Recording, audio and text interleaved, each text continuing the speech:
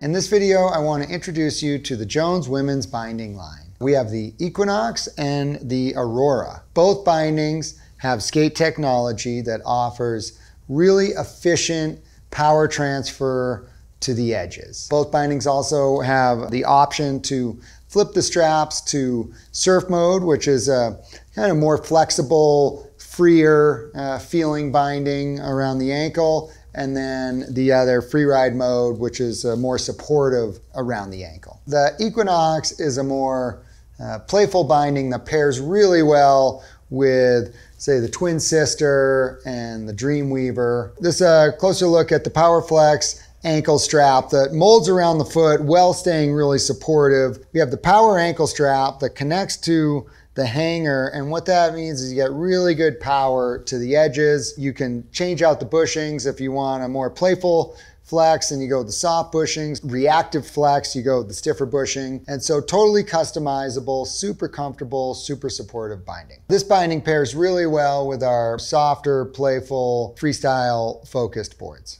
This here is the Aurora. This is the stiffer, uh, most responsive binding in the Jones line. It's got the 3D molded ankle strap that offers really good support. Really excited about the Progressive Flex high back. So it's supportive through here, but it offers a little bit of give on the edges so you don't get calf bite, which happens if you're doing a lot of riding, a lot of hard riding, you can start feeling that in the back of your leg. So a little bit more supportive, hard charging binding that pairs perfectly with the women's flagship, women's Stratos, the hovercraft. It also has that skate tech. Just really drives the power from the straps to the edges.